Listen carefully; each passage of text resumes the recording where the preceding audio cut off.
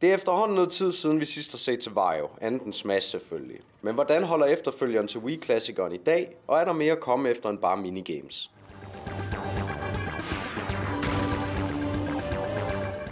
Jeg kan tydeligt huske at spille WarioWare på en Nintendo Wii med mine brødre tilbage i tiden. Og især hvor forvirret jeg var, og hvad fanden det her spil det gik ud på. Og den samme følelse sidder jeg med i dag, udover at mit indtryk bare er det mere positivt. WarioWare Get It Together er netop udkommet til Nintendo Switch, og kort sagt kan jeg sige, at det ikke skuffer. Men for alle de uindvidede, lad mig blot åbne op for det her kaos, som vi kender som WarioWare. WarioWare Get It Together er en samling af sindssygt mange minigames i en kaotisk ramme. Alle spillene er lige til og forståelige, men selve udtrykket er overraskende og langt fra trivielt. For selvom det udadtil virker simpelt og intetsigende, er WarioWare præget af den klassiske arkadekultur, hvor dygtiggørelse er alt.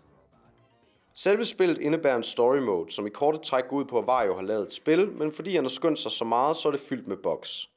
Her skal man så fjerne disse med hjælp fra Varios venner, og det er her den nye titel skiller sig ud. For WarioWare Get It Together er skabt til at skulle spilles med andre, og med de mange spilbare karakterer er der rig mulighed for planlægning og samspil.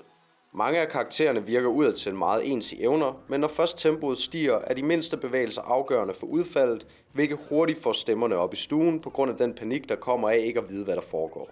Det er virkelig sjovt.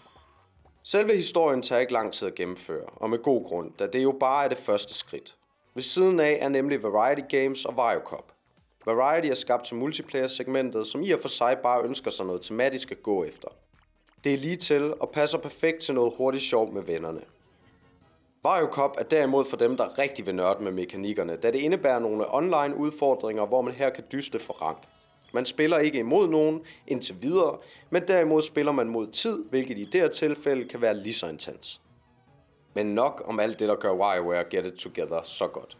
For selvom jeg ikke fandt noget, der direkte gjorde mig vred eller ødelagde min oplevelse med spillet, så var der dog enkelte elementer, som jeg fandt ligegyldige. Herunder et par minispil, som henholdsvis handlede om, hvor lang tid man kunne holde en bold i luften eller overleve mod de andre karakterer. Det var kedeligt og unødvendigt, men heldigvis er man dog ikke tvunget. Mit andet kritikpunkt er den unødvendige implementering af character customization og leveling. Det giver ingen mening og virker fuldstændig overflødigt, men igen, det er ikke noget, som er påtvunget spilleren. Men en ting skuffede mig, og det var mangel på motion control. Jeg vil gerne op fra min sofa og prøve at bevæge mig lidt i forbindelse med spillet, som det var med Wii. Men igen, det er en anden konsol, og det må man også acceptere. Jeg synes bare, det er synd ikke at bruge det aspekt på Switchen, når det nu passer så godt til spillet.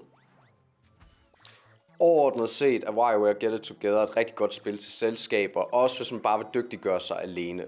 Men fordi spillet bare er en samling af minispil, er det svært at bedømme som at være et rigtig godt spil. Men jeg kan på ingen måde sige, at det er dårligt et. Derfor vil jeg strengt og helt ærligt anbefale det til alle, der har lyst til at have et spil, hvor multiplayer er i fokus.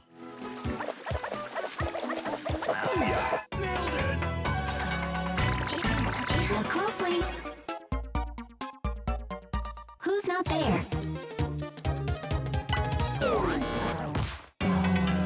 Ready? Yeah, break.